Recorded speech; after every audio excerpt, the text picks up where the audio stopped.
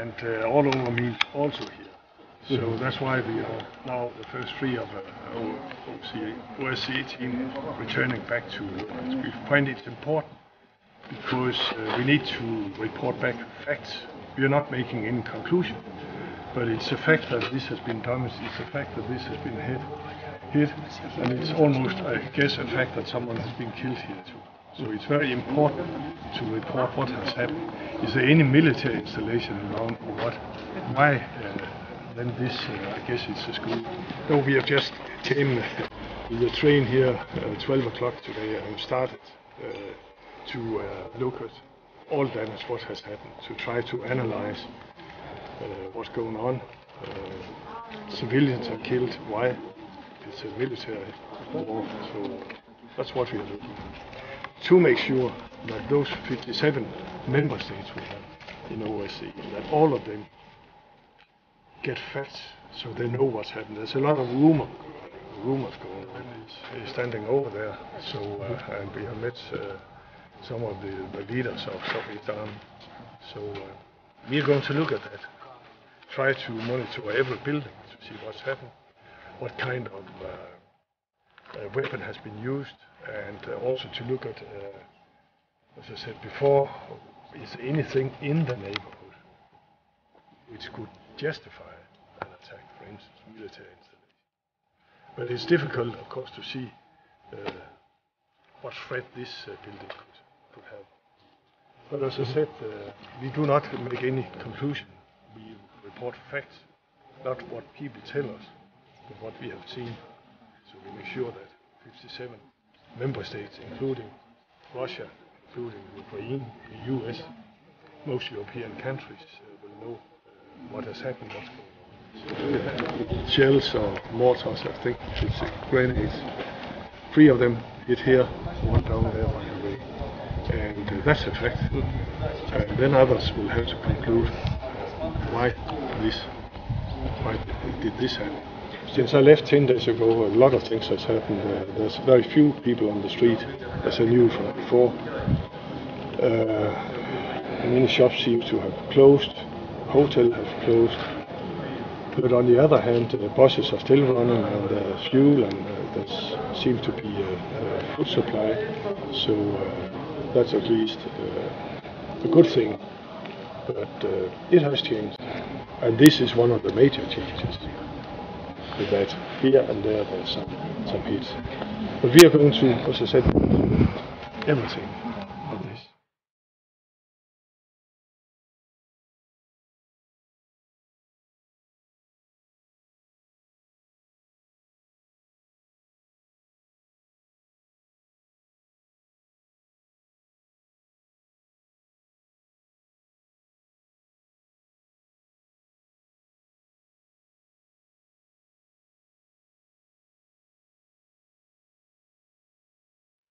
So we always uh, we always ready to help to mediate, and if mediate will uh, end up in a resolution, then we also ready to be there to monitor that everyone is doing what they have agreed.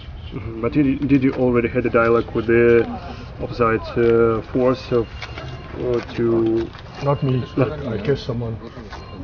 But is it one of purposes of your visit here? No, no, no, it just came. Uh, there's two partners who can make such an agreement.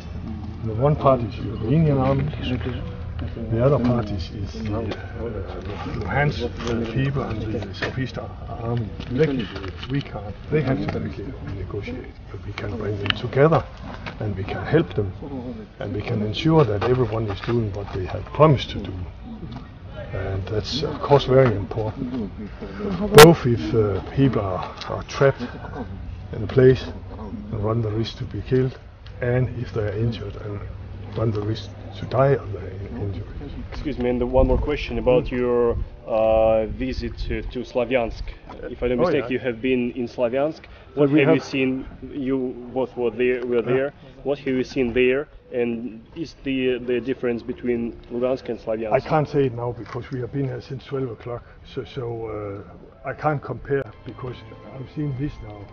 And if I compare that with Sloviansk, then there's a difference. But I don't know how much else has happened. Later today, we have heard a lot of uh, explosions. You've probably heard them too.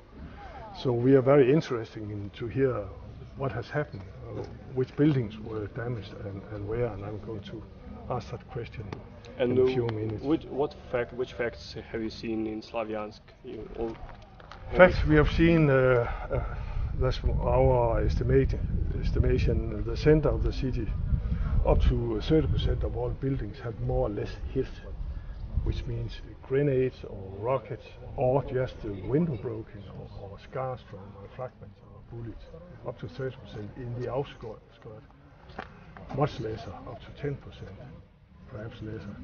And then there's a certain area uh, in the outskirts of, of uh, Sloviansk where some heavy fighting took place. And our estimation is at least uh, 30 buildings demolished, either 50% and up to 100% totally. There's a lot of uh, unexploded uh, mortars stuck in the pavement, and uh, really a lot. There's uh, artillery grenades, so one at least uh, not exploded, so there's been quite a heavy fight. So this part of Sloviansk is heavily. And to the point of civilian deaths. I'm not quite aware. I'm not quite aware. There must have been at least quite a number. If you go to uh, Kramatorsk, it seems a little bit different. It's not hit so much uh. But in uh, some few days, I think we know more about what has happened here, because this is, of course, not the only thing which has happened. What kind of results uh, the OSCE mission uh, got from Slavyansk after the visit? We forward a report of our findings. That's not just uh, the damage on building, that's also the entire infrastructure. Do they have electricity? Do they have water? What is the food supply? Is the train running back and forth between uh, and Kharkiv? It started after a couple of days. Are there fuel? Uh, everything, you know, means something.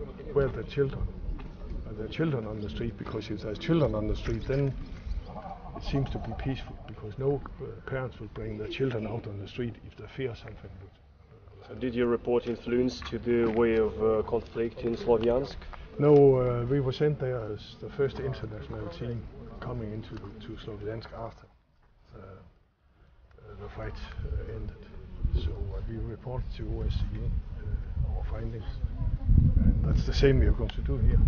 So here in Lugansk you have more opportunities because the fights are already are still, still unfor- going. un- unfortunately, we have more opportunities. I'm sorry to say that. I hoped, would have hoped we have no opportunities because there's no fight. But, uh, that's up to the two parties. Далее это ужас, это невозможно, это я не знаю. Как можно жить здесь? Дети заикаться уже начинают. Дети не спят, постоянно сны какие-то непонятные уже снятся. Ну сколько же это может продолжаться? Люди, правда, это же уже вообще ужас какой-то. В конце концов, вы посмотрите, если бы это попало в ребенка, у меня их трое. Где? Ни защиты, ничего нету.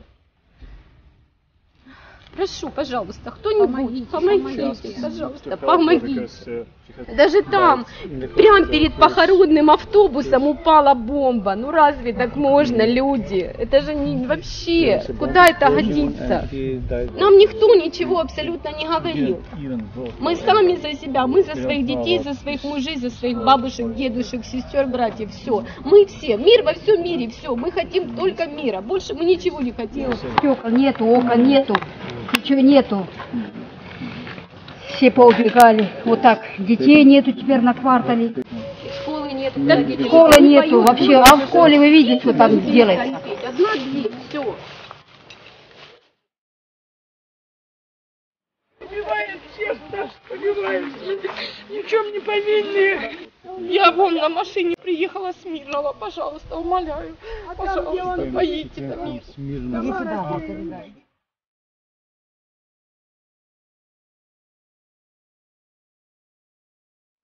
Вот, гляньте, вот это что? Вот это, это первое, то, что снаряд попал.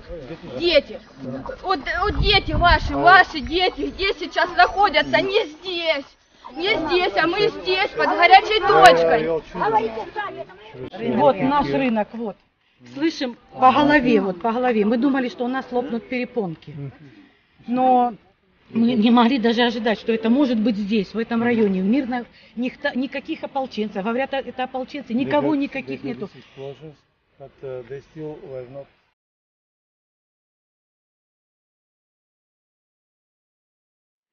Пусть это внуку передаст Порошенко, Порошенко. своему. Для Пусть чего? вот это вот. Для Внуку чего? Порошенко пусть Это передаст. кровь, да. Это детская кровь. Который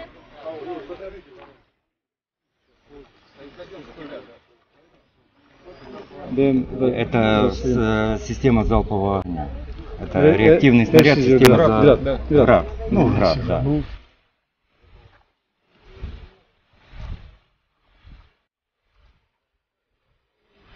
Молодая семья. Отец закрыл ребенка с собой.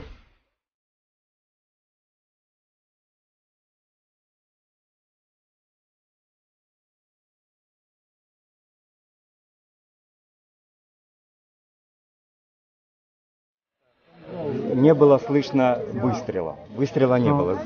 Да, стрела, э, выстрелов не было. Была абсолютная тишина и А, подождите. Как это страшно вчера было. Эти волны от, от удара, все и так это в дыму.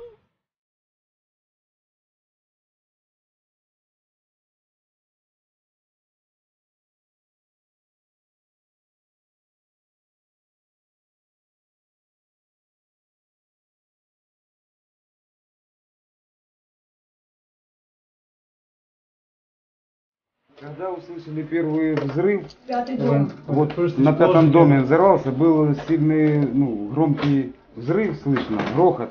И мы, э, мы, Второй удар. мы, о- мы очень быстро сообразили и пробежали на кухню, в ванну.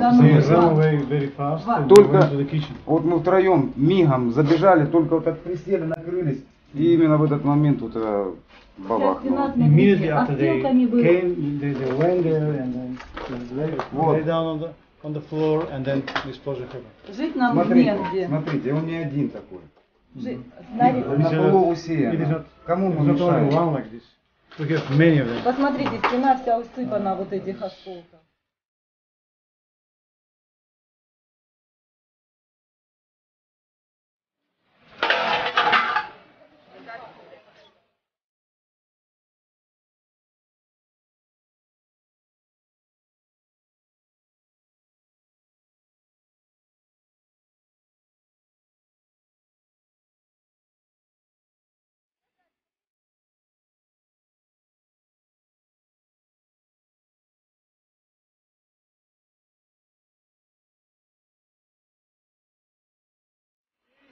Don't accept this. We don't accept this.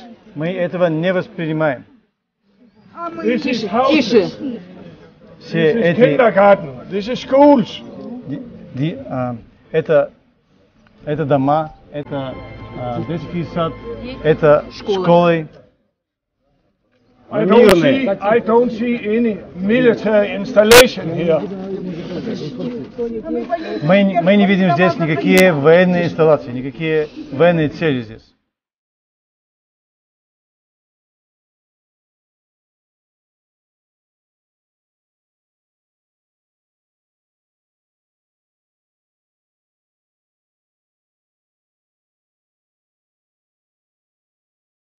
Разве это Порошенко можно? виноват это что, во всем. люди?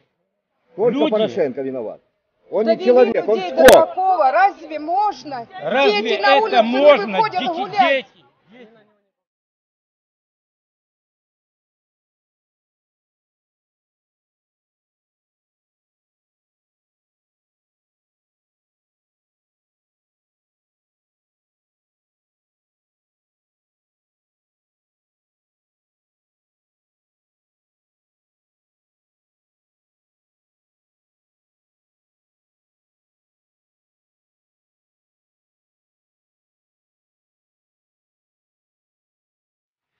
Мы на эти квартиры работали по 40 лет стажа. А где? За что нас разбили? За что?